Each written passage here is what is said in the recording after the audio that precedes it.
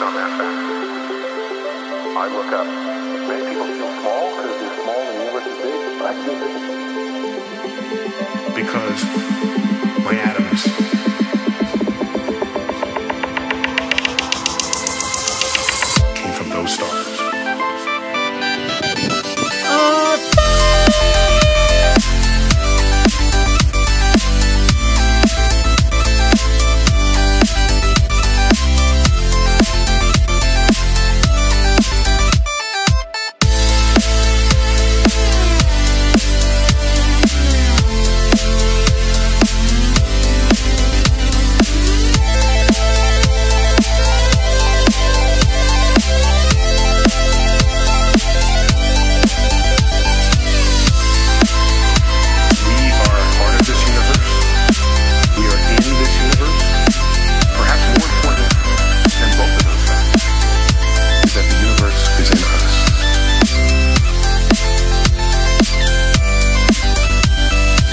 super happy.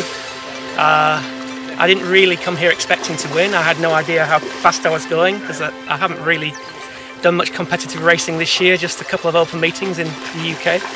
So, and they were difficult. So maybe they were good practice for here because we did a couple of very light and shifty uh, open meetings earlier in the year. But here was shifty, challenging, but I uh, managed to stay on top of it. So I'm really, really happy.